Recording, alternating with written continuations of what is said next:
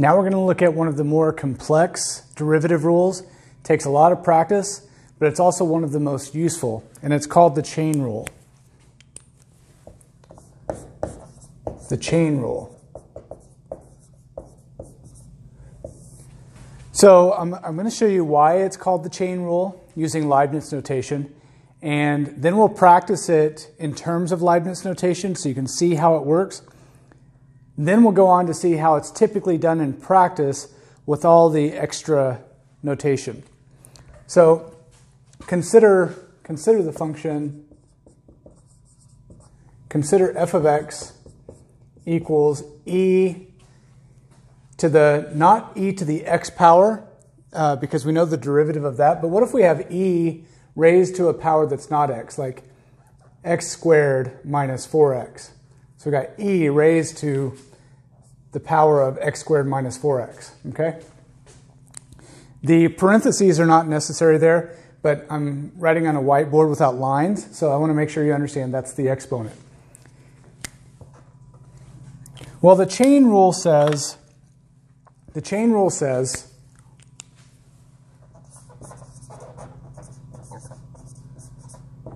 that if you want the derivative of y with respect to x, then it might be useful whenever you have a composition of functions, which that's what this is. This is the e to the x function composed with the x squared minus 4x function.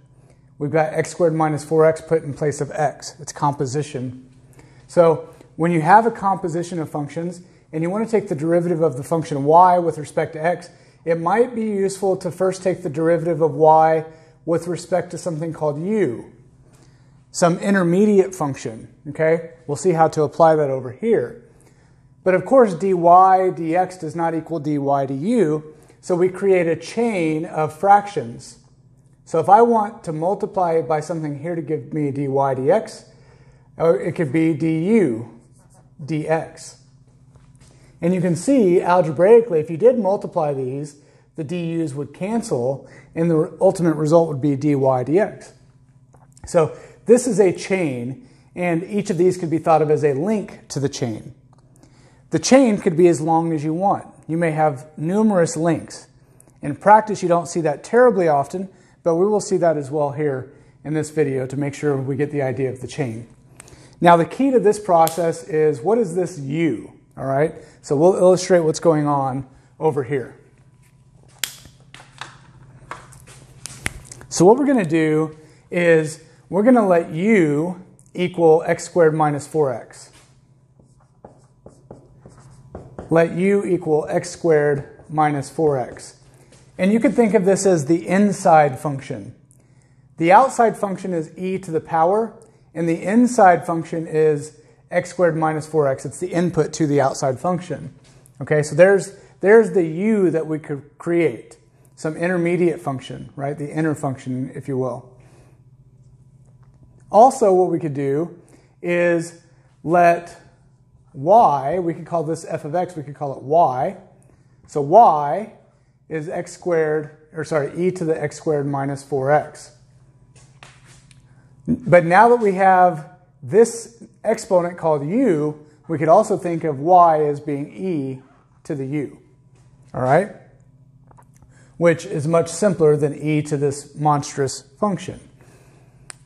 Now, what is the use of this?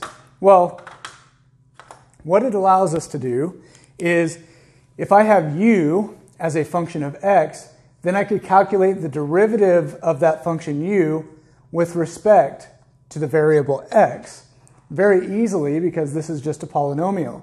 So du dx would be 2x minus 4. Furthermore, now that I have y as a function of u instead of a function of x, I could easily determine the derivative of y with respect to the new variable u. And I can do that because e to the u, if I differentiate that with respect to u, is simply e to the u. All right? So now let's put all of this together. Let's look at the chain rule. So if I were to, let me use a different color here. If I were to come back now and look at the derivative of f of x. f prime of x. Well, I've renamed f of x to be y for simplicity because that's going to help us relate back to the chain rule. So f prime of x is the same thing as the derivative of y because y and f of x are the same thing. So f prime of x is the same thing as dy dx, the derivative of y with respect to x. And by the chain rule, what I can do then is I can take dy du times du dx. Okay? And we've already denoted what each of those is. So dy du is e to the u power times the derivative of that intermediate or inner function with respect to x, which is 2x minus 4. So we have e to the u times 2x minus 4. Now, we've got to be careful because the original problem was in terms of x only. We created u to help us get to the end of this problem. We created it. So when we write our final answer, we can't have u involved in our final answer. So what we have to do now is make sure that we answer in terms of x. So all we do now is we go back and we replace u with its definition x squared minus 4x. So in other words, this ends up being e to the power of x squared minus 4x times so this is not part of the power, times the binomial 2x minus 4. Okay? So this is an example showing you how to use the chain by creating an, another variable to replace the inner function. But it's also simple, simpler than that in practice.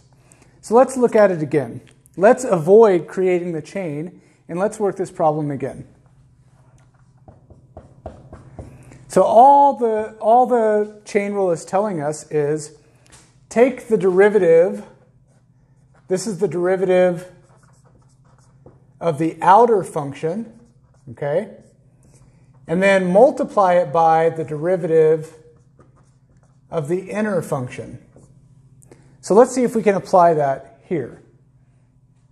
And let's, let's come back. Here's our, here's our f of x. So we're, we're working on the derivative of this.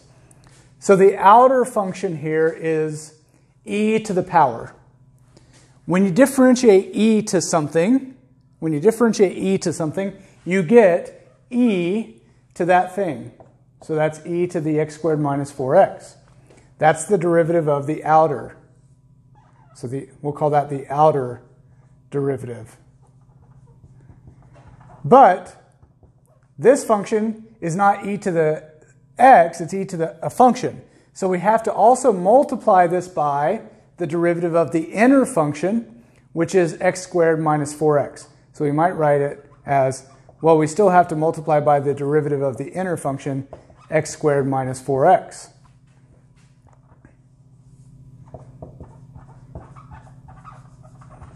So we've got our inner derivative. And if we simplify this now, we get the outer function, e to the x squared minus 4x, times the derivative of this is 2x minus 4. And we get the same answers we did over there without using Leibniz notation or even creating an inner variable for our inner function. And so in practice, this is what we will typically do. In fact, lots of times we will even skip this step. We'll even skip this step and we'll just do the, the outer derivative, so e to the power of whatever it was before, multiplied by the derivative of the inner function. Well, the derivative of x squared minus 4x is just 2x minus 4, and so we could immediately write the derivative. Okay, so that's a basic example showing you how to create a chain using an intermediate variable, and then how to do it without creating the chain. All right, so let's try, let's try several more of these. Sometimes the inner function has an inner function as well. Uh, we won't jump right to that, but it could certainly happen. And the idea is you keep multiplying by the derivatives of what are inside. This rule can be blended with any of the other rules, such as the product rule, the quotient rule, the power rule, etc. So let's say, let's say we want to determine determine d dx of sine squared of x. Okay. So this is kind of, this is a good one to review the notation for the trig functions first of all. And so what you need to realize here is if you want to differentiate sine squared of x, that's the same thing as the derivative of the sine of x function squared. Right? So this sine squared of x is an abbreviated notation for squaring the sine of x function.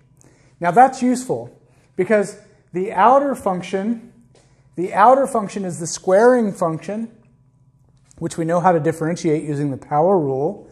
So we have something squared. So if we differentiate that, we're going to bring the exponent down to the front, multiply by this thing, whatever it happens to be, sine of x, lower this power by 1, so that's that's the derivative of the outer. That's the derivative of the square part. So that's the outer derivative. But that would be great if the deriv- if the function inside was just x, but it's not. It is a sine of x. So we still have to multiply by the derivative of, and let's write it out this time. Let's be careful here. We still have to multiply by the derivative of what's what's inside that square, which is just the sine of x function. So again, when you look at this, think something squared. How do I differentiate something squared?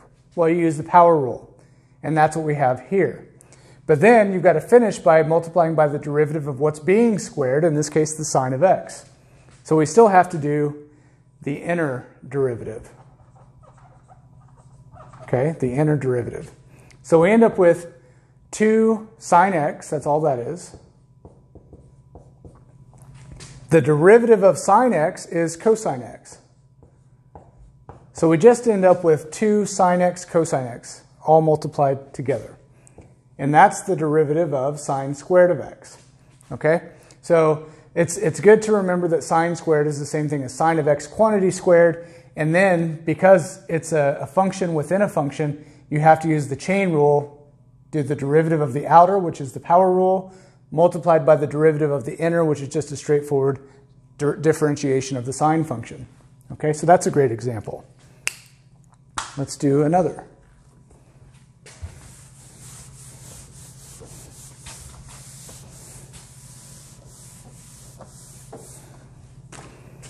So let's determine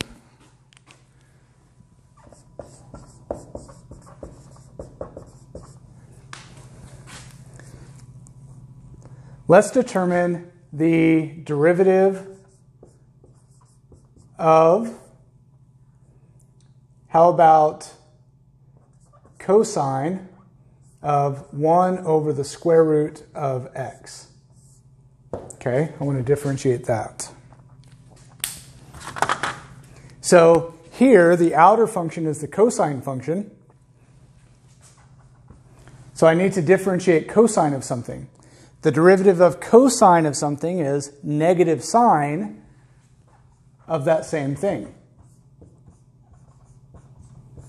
So that's my outer derivative, but I still have to multiply by the derivative of what is input to the cosine function. So I still have to multiply by the derivative of 1 over the square root of x. Now, to make that derivative a little bit easier, I'll rewrite it as x to the negative 1 half power. Okay? 1 divided by the square root of x is the same thing as x to the negative 1 half power. So I've got negative sine of 1 over the square root of x times the derivative of this, which is just a simple application of the power rule.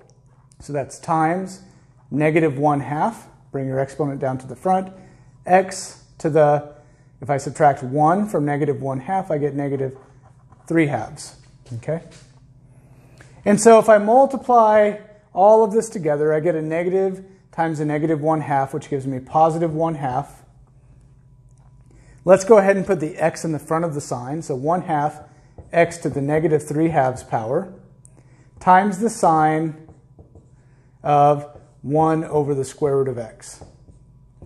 And of course, I could, instead of saying 1 over the square root of x in my answer, I could write x to the negative 1 half also. And then you'd have a bit of consistency with how you're writing your powers of x. But in any case, this is a sufficient way to write the derivative of that function. So I hope you're getting the hang of identifying the outer and the inner. But let's try some more.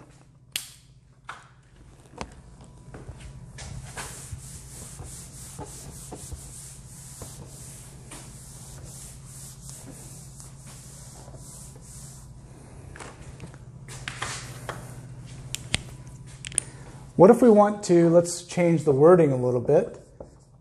What if we want to differentiate f of x equals, how about 2x plus 1 over x squared minus 3 raised to the fourth power. We're going to differentiate that. So in this case, the outer is something to the fourth power. So f prime of x, we'll use this notation now, f prime of x would be, well, it's just a power rule. Something to the fourth power is going to be 4 times that thing to the third power. So 4 times the fraction to the third power. But we're not done because within the fourth power function, there is another function. So we still have to multiply by the derivative of the inner function. So I've got to do the derivative of the fraction. Okay? And so now this, this guy here is just going to go along for the ride. And if I want to differentiate this quotient, then I have to use the quotient rule. Okay? So I've got the derivative of the outer here.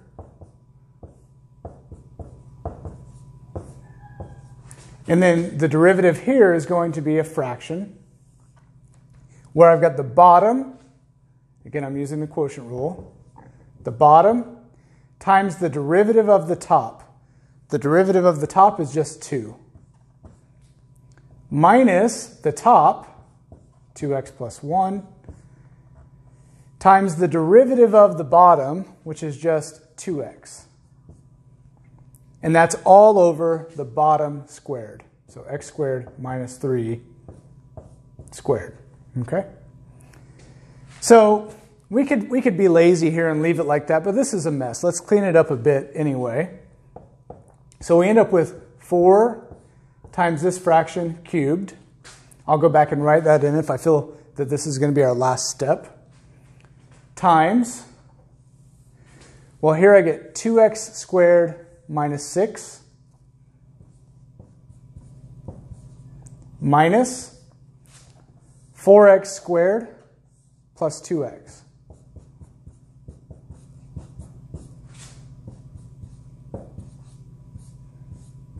Okay? And I'm just noticing something here. Let's go ahead and write this fraction in because I think it might be useful at this point.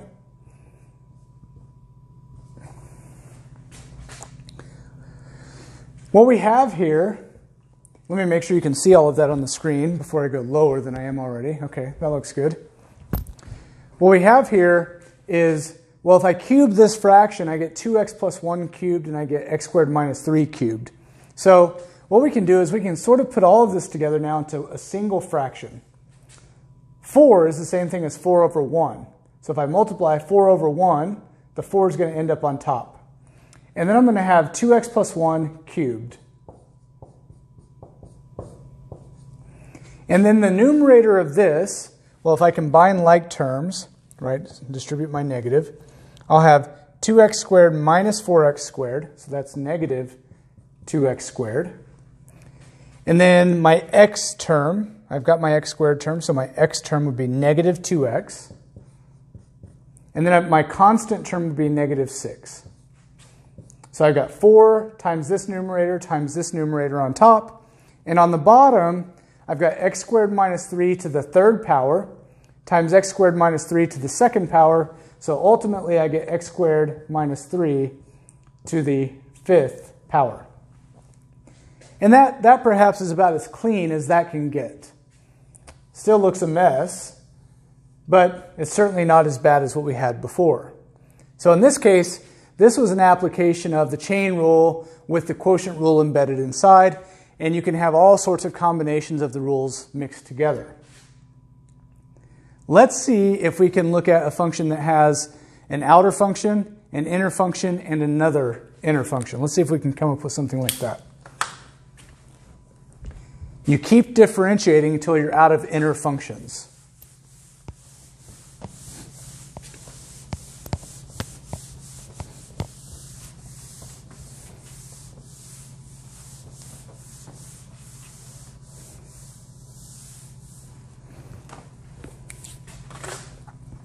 So we'll use different language once again. Let's say we want to determine determine dy dx if y equals, and let's see if we can come up with something. Um, how about tangent tangent of e to the 2x plus 1. Okay? I'll, I'll, keep the functions fairly simple so we don't get bogged down in that, but so we can see how to differentiate when we have numerous inner functions. All right, so here we go. So dy dx, I'm going to differentiate the outer function. Well, that's the tangent function, so tangent of this. The derivative of tangent is secant squared. So this is going to turn into secant squared of the same argument, e to the 2x plus 1. Okay, so that's the derivative of the outer function. But then I have to multiply that by the derivative of the inner function, e to the 2x plus 1. Okay, so we've got to look at this guy now. So I'll carry my secant squared along for the ride.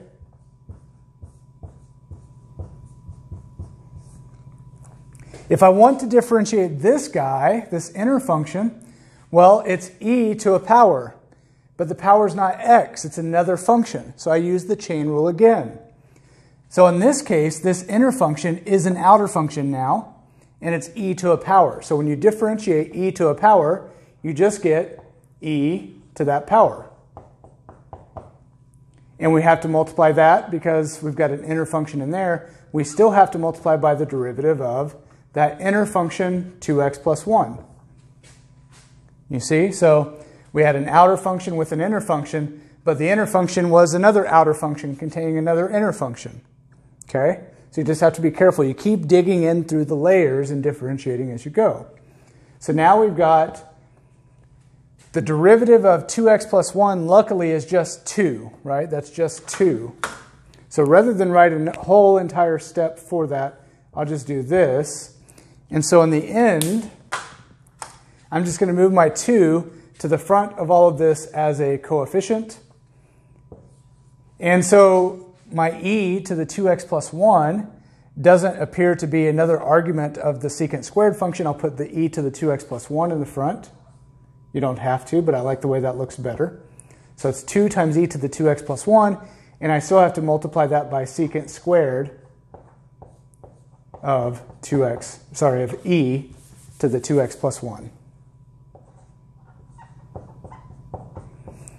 And that's as, that's as far as we need to go here. So it's very much a matter of being neat and organized, keeping track of what you still need to differentiate, what doesn't need to be differentiated, right? But ultimately, it's just the derivative of the outer times the derivative of the inner. And then when you get the derivative of your inner, if it still needs the chain rule, then do it again. All right?